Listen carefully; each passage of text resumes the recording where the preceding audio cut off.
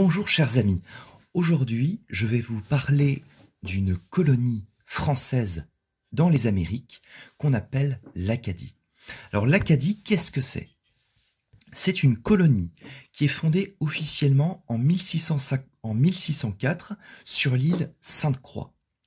Elle est située dans le territoire américain de la Nouvelle-France, qui est occupé par la France, euh, au nord-est, on va dire, du Canada actuellement, à l'embouchure du fleuve qu'on appelle le Saint-Laurent.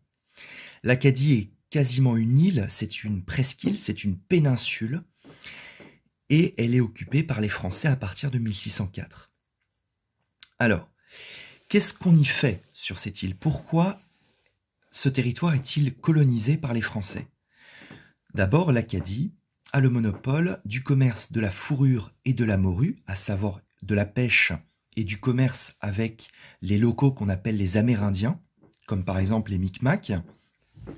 On amène de la fourrure euh, vers la France, on amène de la morue vers la France, on la commercialise, on l'exporte, et elle vient des tribus amérindiennes, c'est-à-dire des tribus qui habitaient en Amérique avant même l'arrivée des colonisateurs européens, qu'ils soient français, anglais ou encore espagnols, portugais. Donc ces peuplades qui vivent depuis très longtemps dans ces territoires ont notamment comme produit de la fourrure qui est très prisée en Europe occidentale et donc qui va être commercialisée comme marchandise de luxe. Mais vous avez aussi une autre activité, évidemment, qui va, euh, qui va prendre le pas sur les autres, c'est l'agriculture. Les Acadiens sont des agriculteurs. Pourquoi? Parce que de plus en plus la colonie va devenir une colonie de peuplement, c'est-à-dire que des Français vont traverser l'Atlantique pour venir habiter en Acadie. Ces Français doivent évidemment se nourrir pour vivre, et pour cela, ils mettent en valeur le territoire acadien, ils l'exploitent, et euh, cela permet notamment une augmentation de la population, parce qu'il y a une vraie euh, une vraie hygiène, une, bonne santé, une bonne alimentation très saine, des remariages qui permettent une augmentation de la population, une croissance démographique en Acadie. Mais néanmoins, euh, il y a des rivalités plus à l'international entre l'Angleterre et la France. Je rappelle simplement que l'Angleterre occupe aussi une partie du territoire américain, un peu au sud de la Nouvelle-France, euh, dans euh, l'équivalent des colonies américaines qui vont être euh, ensuite indépendantes au XVIIIe siècle, ce territoire britannique, eh bien, les Anglais ont envie de l'étendre. Au départ, il n'y a pas de volonté pour l'Acadie de, de se battre contre les Français. L'objectif, de la part des Anglais est simplement économique, c'est-à-dire qu'ils veulent récupérer le monopole du commerce de la fourrure et de la morue en Acadie. Au départ, ce commerce est entre Français, et en fait, les Anglais veulent investir ce commerce pour pouvoir envoyer des fourrures et des morues qui sont, euh, produits en Acadie vers l'Angleterre, notamment, ou vers les colonies américaines qui appartiennent à l'Angleterre. Au départ, donc, c'est purement économique. Mais cette menace euh, va s'intensifier avec notamment euh, eh bien, la cession en 1713 de la colonie acadienne par les Français aux Anglais. Ce qui fait que imaginez l'Acadie sous domination anglaise à partir de 1713. Cette euh, expansion vers le nord des Anglais s'accompagne d'une menace lourde qui pèse sur les populations acadiennes, à savoir les populations de souche française qui habitent dans une Acadie qui est désormais anglaise. En effet, le risque pour ces populations, c'est d'être dominées par une population qui viendrait d'Angleterre, qui traverserait l'Atlantique et qui viendrait s'installer Acadie. Les Acadiens sont catholiques, tandis que les Anglais, je le rappelle, sont protestants. Ce qui fait qu'il y aurait de toute façon une rivalité entre des populations qui viendraient massivement d'Angleterre pour s'installer en Acadie et qui seraient protestantes, envers des populations de souche française qui sont là, je le rappelle, avant euh, l'occupation anglaise. Donc voilà, il y a vraiment euh, un enjeu pour ces populations acadiennes, soit la submersion par des populations venant d'Angleterre, soit tout simplement une présence euh, majoritaire, ce que souhaiteraient évidemment les Français si jamais il devait y avoir une guerre entre l'Angleterre et la France et que les Français voulaient récupérer l'Acadie. Il ne faudrait pas qu'il y ait une population à majorité anglaise, bien entendu. Ça compliquerait les choses pour les Français. Donc voilà, les Acadiens sont menacés. C'est pour ça qu'ils préfèrent maintenir une neutralité. Ils ne choisissent pas le parti français complètement, ils ne choisissent pas non plus le parti anglais, ils préfèrent rester neutres entre les deux.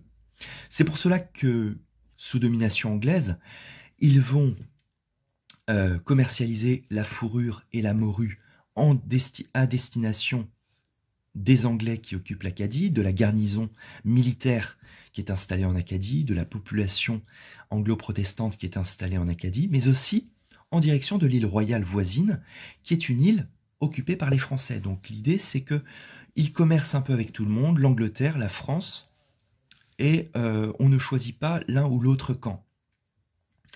Malheureusement pour les Acadiens, les Britanniques envoient de fortes populations en Acadie, ils sont bien près de 6000 bientôt, et une véritable ville anglaise est installée en Acadie, à savoir Halifax. Donc la menace, la pression démographique côté anglais sur les Acadiens devient de plus en plus pressante. Euh, les rivalités entre Anglais et Français n'arrangent pas les choses. De nombreux forts sont construits sur la frontière entre territoire anglais et territoire français. Par exemple, le fort Lawrence, côté anglais, le fort Beauséjour, côté français. Et euh, en juin 1755, lorsque le fort Beauséjour tombe entre les mains des Anglais, eh bien, on a découvert, oh mon Dieu, que certains Acadiens résistaient dans ce fort contre les Anglais qui arrivaient pour euh, le prendre. Donc les Anglais se servent euh, de cela comme prétexte, notamment Laurence se sert de cela comme prétexte pour déporter, prendre la décision de déporter les populations acadiennes en dehors de leur patrie, en dehors de ce territoire, sur lequel ils vivent depuis, je le rappelle, euh, la fin du XVIIe siècle, depuis Louis XIV et Colbert.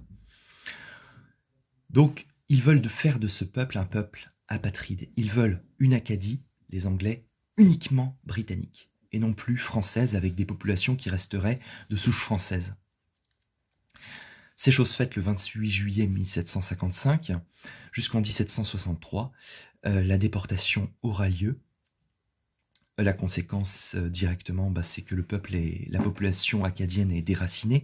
Une partie traverse l'Atlantique, 3000, euh, mais seulement la moitié arrivera en France puisque l'autre moitié mourra en route à cause des maladies qu'ils attraperont sur les bateaux, le scorbut, le, typhus, une mauvaise alimentation, beaucoup de choses. Certes, les tempêtes, bien entendu. Tout cela fera que beaucoup d'Acadiens périront en mer avant d'avoir atteint le sol français. Et euh, d'autres Acadiens sont envoyés en Louisiane, c'est-à-dire au sud euh, des, États-Unis actuels, euh, au niveau du golfe, du, du, fleuve du Mississippi. Un certain nombre d'Acadiens vont s'installer là-bas et vont vouloir reprendre le combat contre les Anglais à l'occasion des conflits entre Français et Britanniques.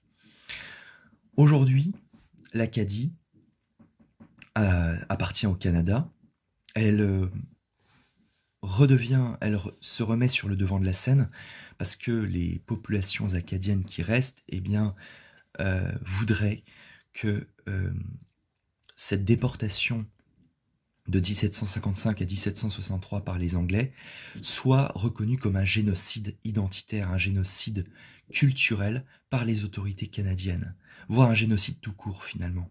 C'est-à-dire que ce serait le premier génocide de l'histoire, selon ces Acadiens, et euh, Justin Trudeau, qui est président, euh, qui est Premier ministre euh, là-bas, qui est le chef du gouvernement, eh bien, devrait trancher d'ici quelques mois sur cette question. Voilà, chers élèves, chers euh, amis, j'espère que cette vidéo vous a plu. N'hésitez pas à commenter, à liker, à vous abonner. À bientôt.